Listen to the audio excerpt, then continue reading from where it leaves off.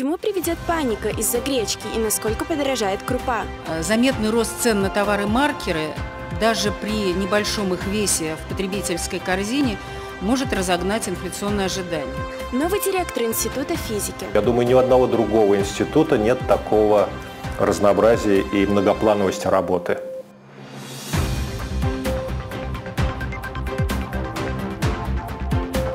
Всем привет! В эфире «Универ News», а в студии Дарья Стрелкова. Во время традиционной рабочей встречи с руководящим составом вуза ректор Казанского федерального университета Ильшат Гафуров обсудил продвижение по проекту «Приоритет-2030». Он отметил, что в реализации новой стратегии развития особое внимание следует уделить не только публикационной активности, но и на результаты деятельности подразделений и сотрудников, учитывать степень их реального вклада в проект, также обсуждалась организация профилактических мероприятий по недопущению распространения COVID-19. Газетные заголовки пестрят сообщениями о скором подорожании гречки. Что это? Продовольственный кризис или хитроумный маркетинговый ход? Разбираемся с экспертом Казанского университета. Повышение цен на гречку не новость. Ее стоимость резко взлетала в 2016 году и оставалась высокой с начала пандемии коронавируса. Интересно то, как подают информацию в СМИ. Заголовки приравнивают традиционное подорожание крупы к федеральному бедствию. Чем так дорога гречка сердцу и кошельку россиян? Гречка – это традиционный для России продукт, который э, мало производится в других странах, и, соответственно, недостаток гречки на нашем внутреннем рынке не может быть компенсирован за счет импорта. Как это делалось бы, например, э, с рисом или картофелем или еще чем-то. И э, цены взлетают. Хороший урожай гречки, наоборот, э, приводит к снижению цен, что мы наблюдали многократно в течение последних лет.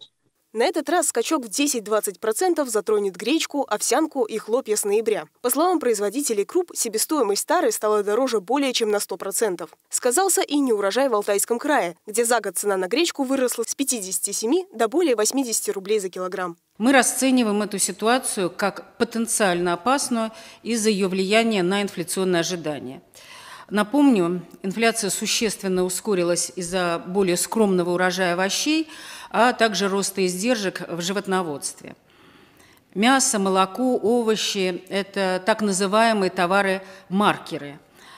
Заметный рост цен на товары-маркеры даже при небольшом их весе в потребительской корзине – может разогнать инфляционные ожидания. Какой бы ни была следующая цена на гречку, развалить экономику ей не удастся. А вот разводимая среди населения паника может оказаться удачным маркетинговым ходом, считает эксперт Казанского университета. Продавцы заинтересованы в высоких ценах своего товара и не гнушаются различными способами подогрева потребительского ажиотажа, в том числе и распусканием слухов. Поэтому важно правильно фильтровать информацию и не создавать очереди в магазинах. Ариадна Кугушева, Univer News. В общежитие Казанского университета вернулась горячая вода. Напомним, что наш канал подробно рассказывал о проблеме с трубой системы ГВС. Ремонт участка протяженностью более 100 метров занял чуть более недели. В Институте физики Казанского федерального университета появилось новое лицо. Теперь должность директора занимает Марат Гафуров, который поделился с нами ближайшими планами института. Одним из преимуществ Института физики Марат Гафуров посчитал многофункциональность. Здесь работает более 320 сотрудников, учатся 1345 студентов и аспирантов, которые занимаются на 17 различных кафедрах. Наш институт охватывает ну, такие направления, как, например, ядерная физика и астрономия космической геодезии. Да? То есть э, охват нашего института настолько так сказать, большой и огромный, что, я думаю, ни у одного другого института нет такого разнообразии и многоплановости работы. На данный момент Институт физики в большей степени приветствует академический образовательный процесс. Однако студентам и аспирантам предоставляется огромное количество возможностей подкрепить теоретическую базу практикой. Вот здесь у нас расположен спектрометр ядерного магнитного резонанса. Вы знаете, что школа магнитного резонанса родилась у нас здесь, в Казани, в 1944 году с открытия явления электронного парамагнитного резонанса Евгением Константиновичем Завойским. Мы продолжаем эти традиции, и сейчас мы используем эти приборы для того, чтобы характеризовать те вещества, которые мы синтезируем. Выбор Марата Гафурова так или иначе связать свою жизнь с физикой был не случайным. Это история, которая началась еще со школьной парты. Что заставило вас поменять род деятельности? Ну, на самом деле, род деятельности я не менял. Как выпускник 131 школы для меня практически не было вопросов, куда поступить физического э, класса. Поэтому я поступил на физфак Казанского университета. И, наверное, э, это был мой правильный выбор, хотя я несколько раз порывался уходить и в аспирантуре. Мне надоело учиться, и было как-то очень трудно. Ну и вы были, понимаете, 90-е годы, денег на науку не было.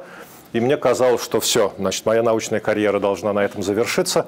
Но, тем не менее, спасибо, наверное, вот этим годам и моему опыту, э, хотелось продолжать заниматься наукой и дальше. Что касается изменений, то в ближайшем будущем магистров и аспирантов ждут нововведения в сфере образовательных программ. Скажите, а планируется запуск каких-то новых магистрских и аспирантских программ?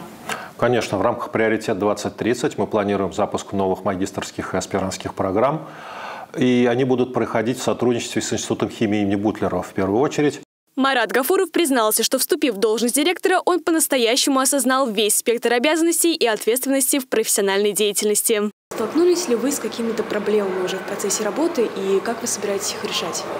Ну, вы понимаете, тут я осознал, что директор должен решать все проблемы, начиная от протекших вот труб, посмотрите, сейчас вот включили отопление,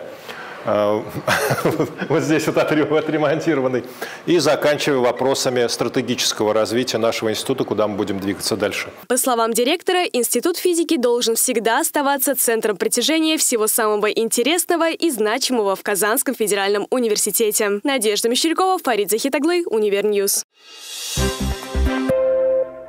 В Казани в поликлинике номер 21 с 25 октября заработает пункт вакцинации от коронавируса для иностранных студентов. Как записаться на прививку, расскажем в сюжете. Казани в поликлинике номер 21 с 25 октября заработает пункт вакцинации от коронавируса для иностранных студентов. Хочется отметить, что для иностранных студентов Казанского федерального университета вакцинация от COVID-19 будет доступна бесплатно. В данный период времени иностранные обучающие прививаются в униклинике Казанского федерального университета однокомпонентной вакцины «Спутник Лайт». Для прохождения вакцинации иностранным гражданам необходимо предоставить паспорт, а также полис добровольного медицинского страхования. За подробной информацией можно обратиться к заместителям директоров институтов по международной деятельности Казанского федерального университета. Совместно с Роспотребнадзором, соответственно, э, совместно с заинтересованными органами проходим, проводим необходимую разъяснительную работу, а, объясняем студентам, что это необходимо, доводим эту информацию. И, безусловно, нас, наша задача увеличить долю э, значит, вакцинированных студентов э, как можно больше. По информации пресс-службы Минздрава Республики Татарстан, прививку поликлиника будет делать платно, по будням с 8 утра до 8 вечера. Стоимость данной вакцинации составит 1200 рублей. Для того, чтобы сделать вакцину от COVID-19, студентам необходимо иметь при себе следующие документы. Паспорт иностранного гражданина, уведомление о прибытии иностранного гражданина или лица без гражданства в место пребывания, а также студенческий билет. Амир Ахтямов, Univer News. Казанский федеральный университет получил высокую оценку по результатам независимой оценки качества условий осуществления образовательной деятельности в 2021 году. ВУЗ был отобран Общественным советом по проведению независимой оценки качества при Минобрнауки России. В Елабужском институте Казанского федерального университета прошла научно-практическая конференция по вопросам филологии и преподавания. Подробности в следующем сюжете.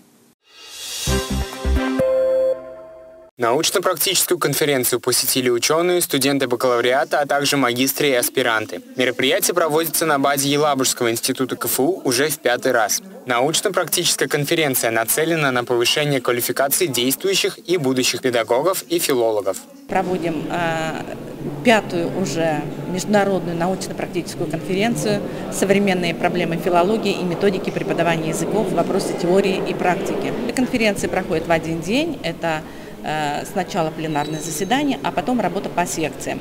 География конференции обширна. Гости собрались как из российских городов, так и из-за рубежа.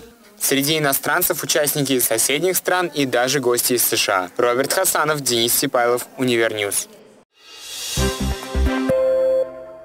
На этом все. В студии была Дарья Стрелкова. Сюжеты из выпуска ты сможешь найти в наших социальных сетях, а также на сайте телеканала. До новых встреч!